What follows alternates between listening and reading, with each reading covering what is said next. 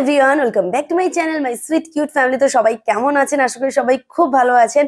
তো আমি বেরিয়ে গেছি। আমি কোথায় যাচ্ছি? আমি আমার বৌদি আর পুচকুলো যাচ্ছি।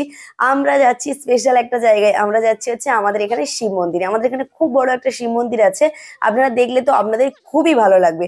আর এখানে খুব বেশি ভিড় হয়। তো আজকের হচ্ছে সন্ন্যাসী। মানে আজকের প্রথম দিন সন্ন্যাসীর। ওই জন্য যাচ্ছি আমরা মেলা দেখতে একটুখানি।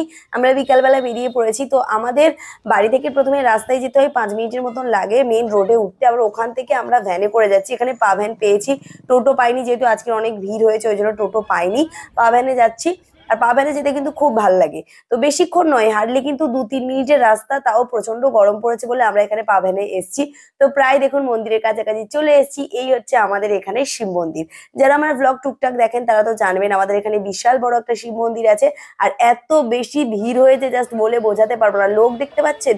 পুরো মানে লোকে লোকারণ্য হয়ে আছে আর এখানে সবাই সন্ন্যাসী হয়েছে, সবাই কিন্তু বেশ মেজাজে আছে। আমরা বিকালবেলায় এসেও এত ভিড়। মানে ভাবতে পারছেন সকালবেলা আসলে কি পরিমাণে ভিড় হতো? মানে প্রচুর লোক প্রচুর লোক বলে বোঝানো যাবে না।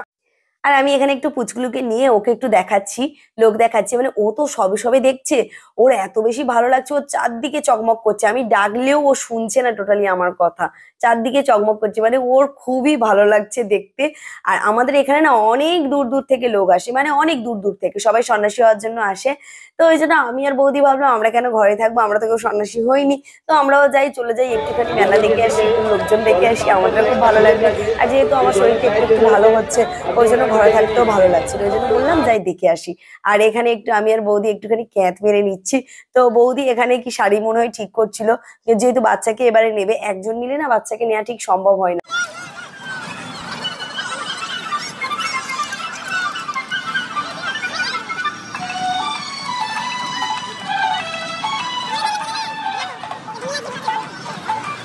আর এখানে দেখুন চারদিকে উত্তুরি, আর উত্তুরির কালারগুলো দেখতে পাচ্ছেন এত সুন্দর কালার চারদিকে দোকানই দোকান।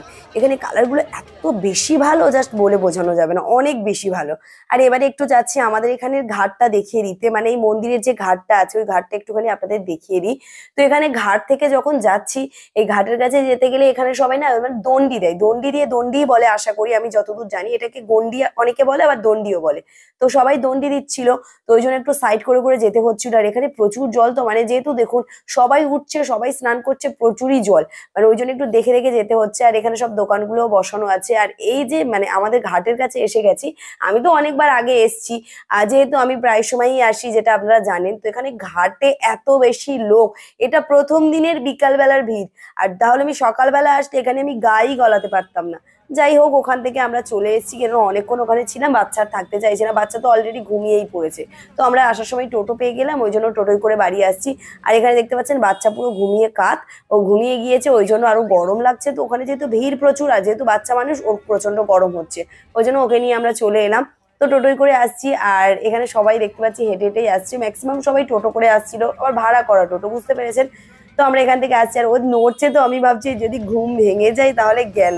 তো একটু বাইরের দৃশ্যটা আপনাদেরকে দেখিয়ে দিচ্ছে। খুব বেশি দূর তো নয়, তাও তো আসার সময় আমরা হচ্ছে, আমি আর বৌদি খুব খিদে পাচ্ছিল, ওই জন্য আমরা আসার সময় একটু চাউমিন নিয়ে নিলাম, আমিও নিলাম, বৌদিকেও নিলাম। তো এই হচ্ছে চাউমিন দুজনের ভাগাভাগি করে নিয়ে এসেছি ওখান থেকেই। আর তো চাউমিনটা আমরা খাওয়া দাওয়া করব। আর এখানে আমার খুব ভালো লাগে কেলক চকস খেতে। তো কেলক চকস তো পাইনি, ওর ভাইকে পেয়েছি। মানে জানি না কি নাম ওর। যাই পারে ওকে একই খেতে প্রায় ওই জন্য নিয়ে নিলাম। দোকানদার বলল, তো এটা খাওয়া দাওয়া করে নেব।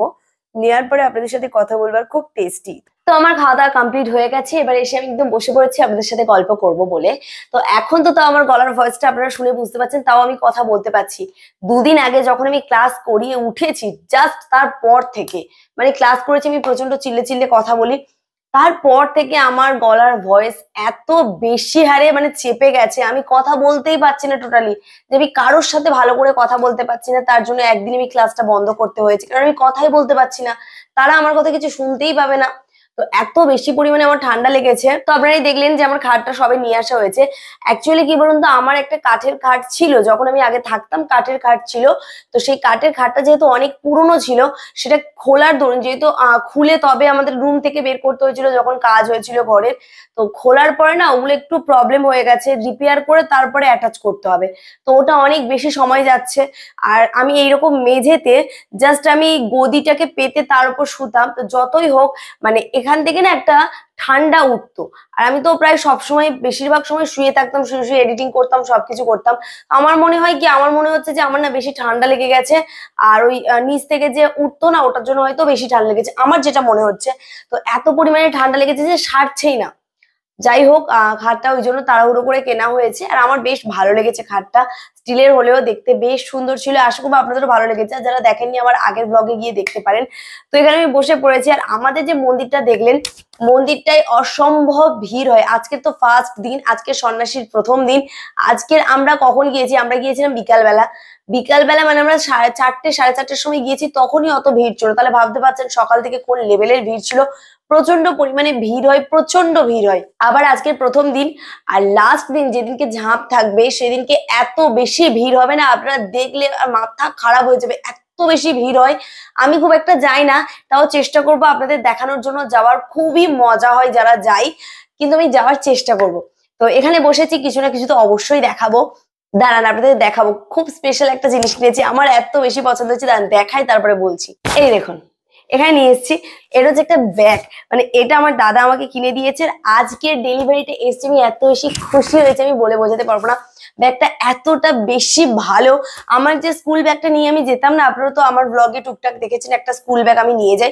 ওই ব্যাগটা না অনেক দিনেকার, অনেক পুরনো ব্যাগ বেশ খারাপও হয়ে গেছিল, তাও আমি নিয়ে যেতাম। আমার এটা খুব প্রয়োজন ছিল, তো এটা আমার দাদা আমার জন্য কিনে দিয়েছে। আর এর কোয়ালিটিটা এত বেশি ভালো, আমি কি বলব? কালার কম্বিনেশনটা দেখুন।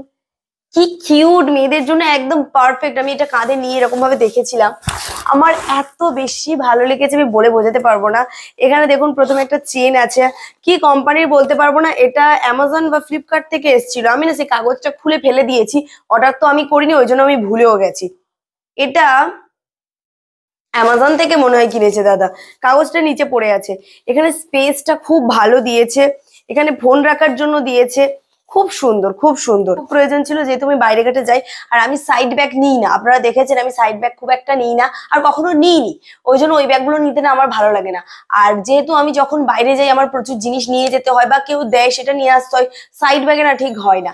আমার এরকম কাঁধে ব্যাগ খুব খুব প্রয়োজন, আর এটা আমার খুব পছন্দ হয়েছে। তাই জন্য ভাবলাম আপনাদের সাথে আমি শেয়ার করে দিই। তো আপনাদের কেমন লেগেছে অবশ্যই জানাবেন। আশা করব আপনাদের পুরো ব্লগটা ভালো লেগেছে, একটু হলেও ভালো লেগেছে। যদি একটু ভালো লেগে যায়, কি করতে হবে? তার জন্য লাইক করতে হবে চ্যানেলকে সাবস্ক্রাইব করতে কিন্তু একদমই ভুলবে না। আর ওরকম ইন্টারেস্টিং ইন্টারেস্টিং ব্লগ দেখার জন্য। তো আজকের জন্য এখানেই এন্ড করছি। সবাই খুব ভালো থাকবেন। টাটা!